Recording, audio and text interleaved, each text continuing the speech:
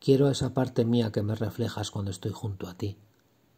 En ese baile de espejos enfrentados a mil caras nos vamos reconociendo en los pedazos que encontramos. Odiamos al que nos refleja las caras nuestras que no queremos ver. Y amamos al que nos devuelve la fantasía especular más adornada y coqueta.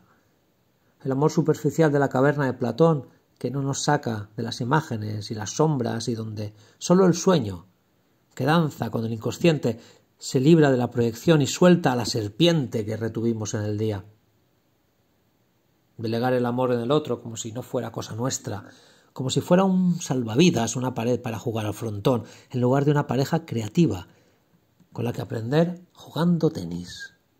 Hay un vacío profundo que intenta y no puede llenarse, una intuición de plenitud sin puente que le dé cauce.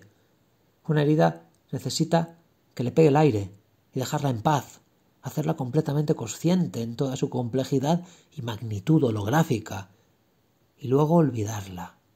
Sin tiempo y sin dejar de hurgar no hay cicatrización. Las heridas se transmiten entre las ramas del árbol y pasan de padres a hijos, repitiéndose hasta que revientas. O te obligan a sanar, desactivando el armatoste inconsciente, a base de un trabajo profundo de observación y conciencia.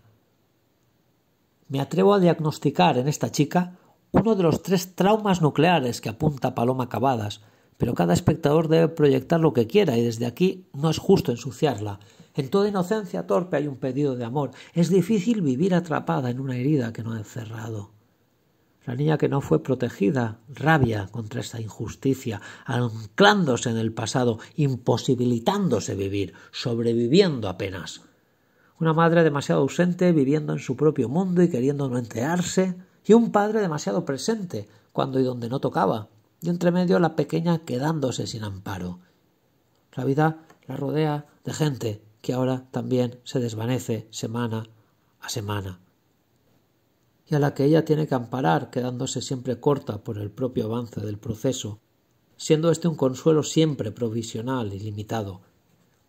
Hay ternura en la inocencia de esta chica completamente esclava de sus condicionantes marcados a fuego. La herida es ese trauma que lo impregna todo, y hace que se convierta todo en una repetición. No me gusta nada el montaje de Blancanieves que hizo el mismo hombre que ahora rueda esta herida. Sin embargo, aquí se convierte en un narrador impecable sin nada que reprochar. Aún más cerca que en Rosetta de los Dardenne, nos centramos en un estudio etológico de la protagonista, donde no escapa nada. Además, la actriz no cae en ninguno de los pecados al dibujar un personaje tan difícil, resultando completamente creíble y nada afectada. En definitiva, una película sobre las secuelas emocionales de dolor que todos arrastramos de una manera u otra, en uno u otro grado.